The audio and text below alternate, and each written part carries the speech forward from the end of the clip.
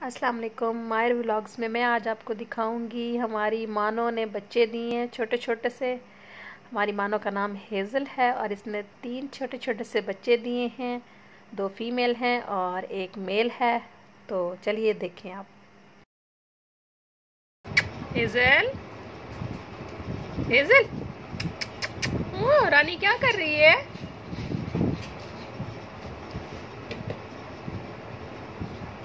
Cute से छोटे छोटे से किटन्स हैं और इनकी आँखें अब खुल चुकी हैं। एक हफ़्ता हो गया है इनको पैदा हुए हुए। और ये देखें, मैं आपको दिखाती हूँ उठा के। ये सबसे क्यूट और सबसे प्यारी है, बिल्कुल किसी बंदर का बच्चा लगती है। ये ब्राउनी है और ये बहुत शरारती और बहुत बोलती है। कितनी क्यूट है, प्यारी सी। मुझे सबसे ज़्यादा पर्सनली यही प्यारी लगती है। इसकी शरारतें बहुत प्यारी होती हैं और ये बहुत ज़्यादा बोलती है।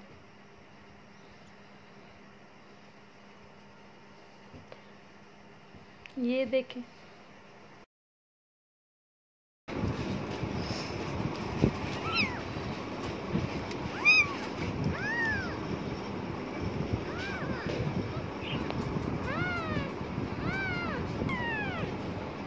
चलें, इसे वापस रख देते हैं और ये है ब्लू आइज़ का कैटा ये मेल है और ये एक ही मेल पैदा हुआ है और ये भी बहुत क्यूट सा वाइट सा, प्यारा सा है।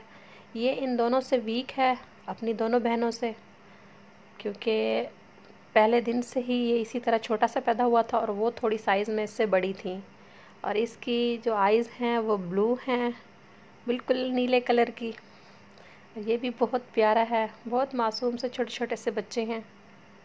बहुत क्यूट से हैं। ये बिल्कुल टॉयज़ की तरह हैं, खिलौने हैं।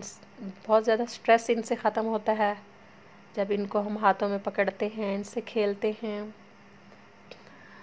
हेज़ल लगी हुई है अपने बच्चों की सफ़ाई करने में। अब अब देखें फ़ीड करवा रही है। ये एक और बेटी है, इसकी, इसका नाम मिल्की है। ये भी ब्लू आइज़ है, बल्कि ऑड आइज़ हैं। एक ब्लू है और एक ग्रीन आई है उसकी। ये भी बहुत प्यारी है। कितनी मासूम सी शरारतें करते हैं, हरकतें करते हैं।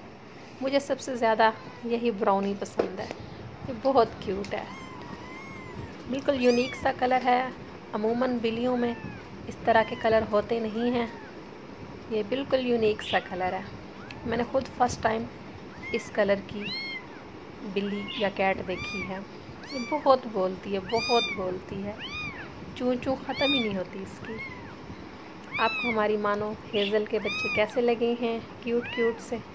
आपने मुझे ज़रूर बताना है। तो मिलते हैं किसी अगले व्लॉग के साथ। तब तक के लिए बाय बाय।